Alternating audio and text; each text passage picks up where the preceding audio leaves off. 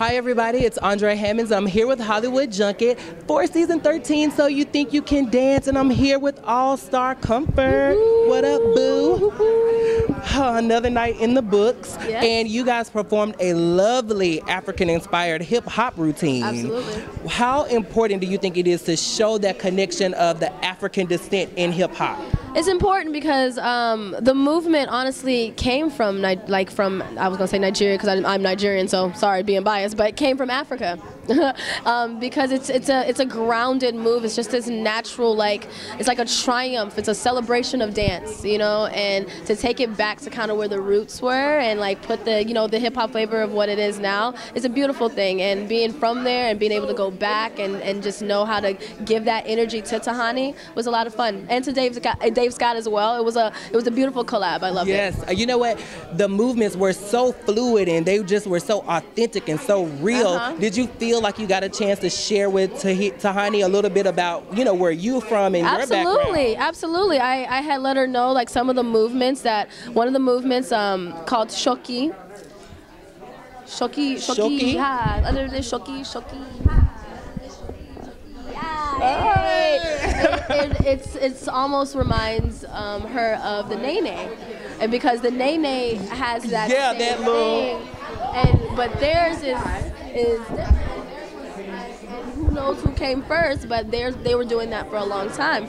So it was just one of those things that was just like, ah, I shared that with her, shared to Zonto, shared her just different names of certain dances that she can be able to hopefully put in her you Man. know, pocket and use it. I'm putting that because I'm gonna definitely hit him with that one.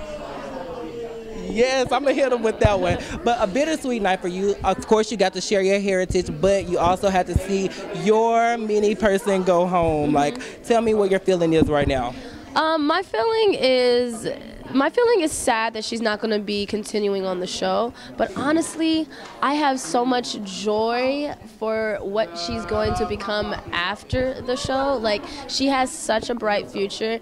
The amount of people who don't win the show that have a successful, successful career soon after count. You can count them more on your finger. Like you can't even count them on your fingers. Yeah. You know what I mean? Like so, it's a beautiful thing. Like there's there's life after the show, and she has a bright future after the show. And especially if it comes to me, I'm gonna make sure of it.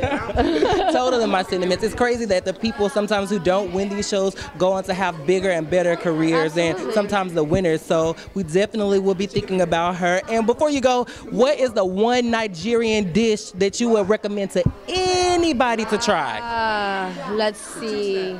I love fufu and egusi. Egusi or or akara.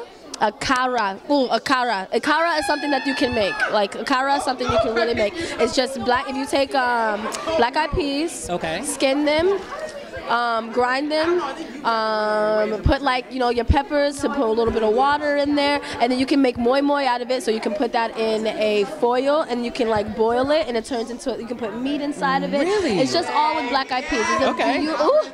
So Comfort is gonna be coming to my place to cook me some authentic Nigerian food. I have just volunteered her. So stay tuned for cooking lessons with Comfort and Andre. Shout out to Hollywood Junket.